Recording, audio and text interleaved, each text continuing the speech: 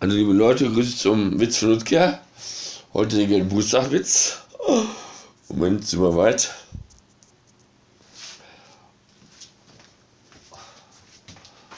Also liebe Leute, Grüße zum Witz von Ludger und post mir eine Flinttasse, gibt es im Shop oder so ein Shirt. Und der Geburtstagswitz, und zwar ist der von Ludger Winter, also von mir. Und der Geburtstagswitz. Äh, er hatte vor zwei Tagen Geburtstag und da kamen jede Menge Online-Grüße und eine per E-Mail da von poppen.de.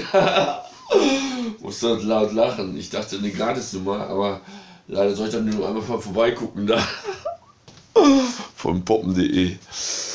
Hatte gestern, vorgestern Geburtstag und dann kamen jede Menge Geburtstagsgrüße und eine von per E-Mail von poppen.de.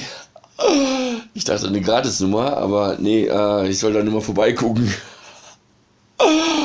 Und Erklärung, ähm, ich hatte ja Geburtstag, bin 56 geworden vor zwei Tagen.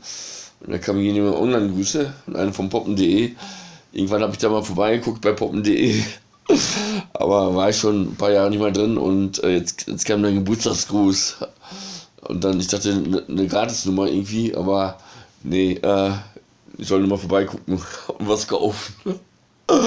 Okay, ciao, ciao, bitte abonnieren.